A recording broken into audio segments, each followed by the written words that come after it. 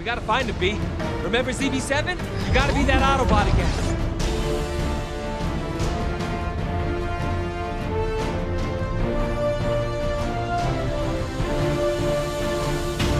Welcome back Autobots, Decepticons, and everything in between to another episode of Fixing Transformers. And in today's video, we're going to take a look at the story of Bumblebee's hammer. But before we jump into that, a quick word from today's sponsor, Squarespace. Now, Squarespace is an all-in-one platform that lets you create a stunning and beautiful website, which you can use for your online presence. Whether that be an online blog talking about alien robots that turn into cars roaming the streets, to an official business, Squarespace has you covered. Squarespace is very user-friendly, meaning you can make the website of your dreams with no coding experience whatsoever. I love how you can add your social media posts to your website, since it's a fast and efficient way for others to find you, along with the embedded video feature, showing your videos right on the page. So if any of this interests you, go to squarespace.com for a free trial. And when you believe your website is ready, go to squarespace.com slash transtheories to save 10% off of your first purchase of a website or domain. And I want to say thank you to Squarespace for sponsoring this video. Now moving back onto the question at hand, Bumblebee's hammer really came out of nowhere, showing up in a World War II flashback, which took place before the events of the five films. And it would not appear in four out of those five films, with it suddenly reappearing with no explanation in the fifth film, Transformers The Last Knight,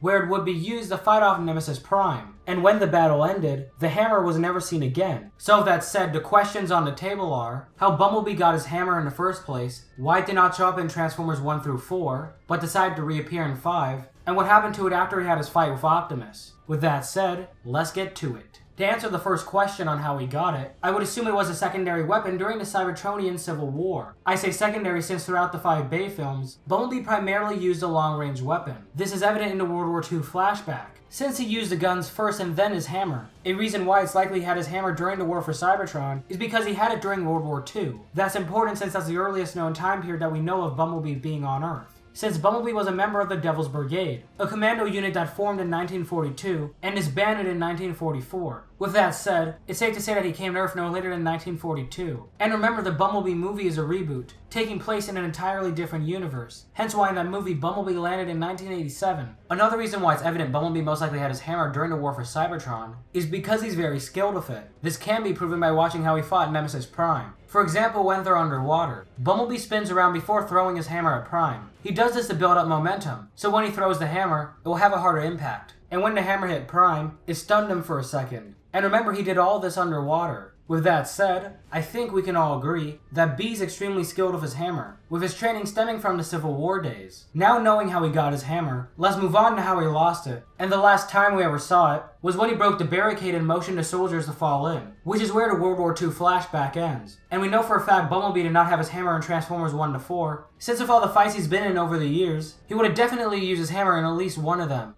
So what happened to it? Well, my best explanation is that he gave it to Hot Rod, and here's why. As we know, Bumblebee and Hot Rod are brothers in arms, and were tasked with finding the Allspark on Earth. Eventually, the two somehow met up with Cogman and a young Sir Edmund Burton. Now, Edmund is part of the Order of the Witwiccans, a group dedicated to hiding the existence of Transformers on Earth. And as we know, Hot Rod joined the Order, letting Bumblebee track down the Allspark on his own. I believe the two thought it was a good idea for Hot Rod to join the Order, since it would overall help in their goal in finding the Allspark since if the Decepticons made a mess somewhere when trying to find it, the Order could easily cover it up. After the war ended in 1945, and not finding the Allspark in Europe, Bumblebee and Hot Rod decided to part ways, with Bumblebee traveling in North America to search for the Allspark, and with Hot Rod staying in England to be with the Order. But before B left, he gave Hot Rod his Warhammer as a farewell gift, since they both knew they would not see each other for a long time. And this theory would make the most amount of sense, because after that flashback we did not see the hammer again. And we know for a fact he did not have it on him during Transformers 1 to 4, so I think this would be the most likely scenario as to why he did not have it. But now I'm going to reinforce the giving away theory by explaining how he got it back.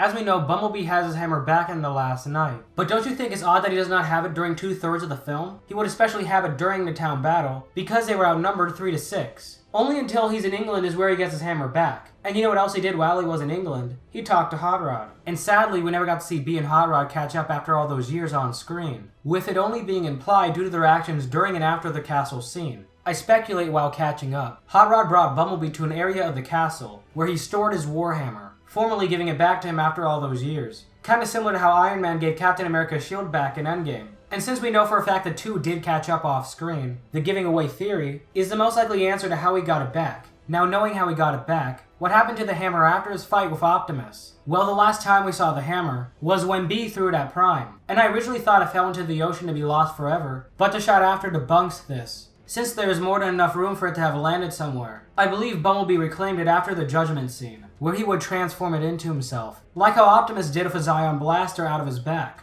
I come to this conclusion since it would make no sense for Bumblebee to leave his hammer behind, when he could easily get it back. As for why he did not use it in the final battle, since they were fighting in zero gravity, it would make more sense to fight with a ranged weapon instead of a close range one, since it would be way more accurate. Hence why Bumblebee did not use his hammer in the final battle. And just like that, that was the story of Bumblebee's hammer. I hope you guys enjoyed this video, and if you haven't already, check out the Fixing Transformers playlist for some more awesome theories. But before I go, I want to say thank you to all my Patreons and channel members for supporting the channel. It means a lot and keeps my channel running, so big fat thank you to you. And as always, if you enjoyed this video, please give a like rating because it helped the channel a lot. With that said, hit that outro.